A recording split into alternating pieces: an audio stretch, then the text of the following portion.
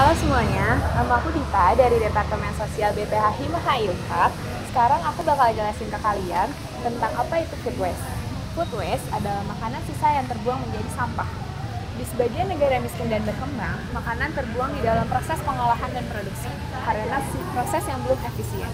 Sedangkan di negara maju, makanan terbuang dalam sisi konsumsinya. Dan setiap setiap orang dapat membuang sekitar 100 kg per tahunnya. Sadar nggak sih kalian, fenomena food waste ini ada loh di sekitar kita. Aku Naufal dari Kesejahteraan Sosial 2016. Haro. Eh, nama gue Amar. Nama saya Afi.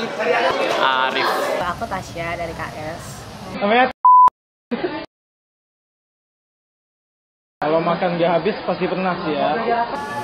Uh, pernah. Kalau gua nggak, kalau gua jarang banget, jarang banget kalau buat. Tapi pernah kan? Sekali dua kali pernah sih. Gak pernah sih, soalnya sayang banget kan kalau dibuang ya. Uh, aku kadang-kadang suka desain makanan. Itu jarang banget kayak sekali dua kali doang. Uh, pernah.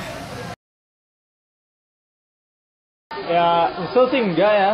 Soalnya kan ya emang kenyang mau gimana lagi jadi gak bakal senyesel itu juga.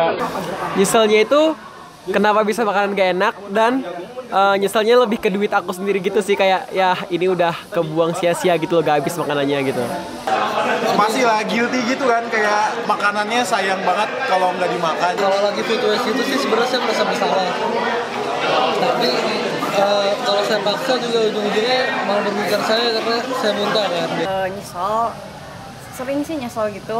Cuman gimana lagi kan gitu. Maksudnya bukan porsi aku dan aku udah kenyang nyesel sih soalnya kan pakai uang ya belinya. Jadi kayak nyesel juga kalau dibuang gitu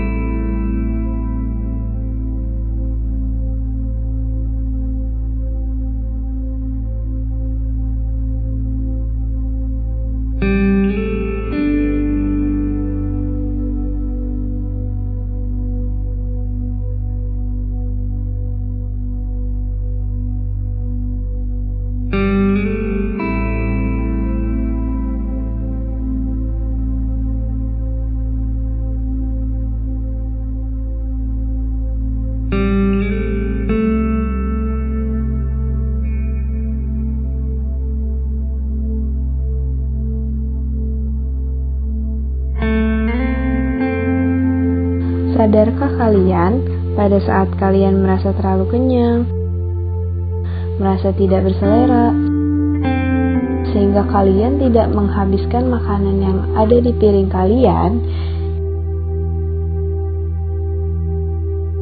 di belahan dunia lain terdapat jutaan manusia kelaparan dan rela melakukan apa saja hanya untuk mengisi perut mereka.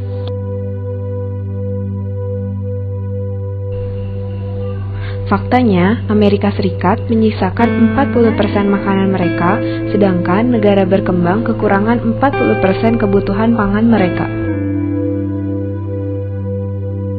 Hampir 1 miliar manusia di Afrika kelaparan saat kita masih membuang 1 per 3 makanan yang telah diproduksi.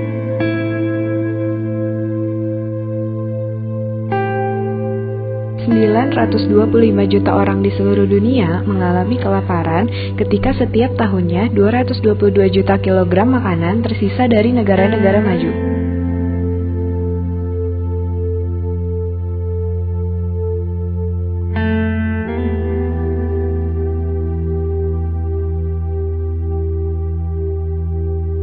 Maka dari itu, kita bisa melakukan hal-hal sederhana untuk membantu mereka Mulai dari sekarang, selesaikan apa yang harus diselesaikan mulai dari piring kalian sendiri.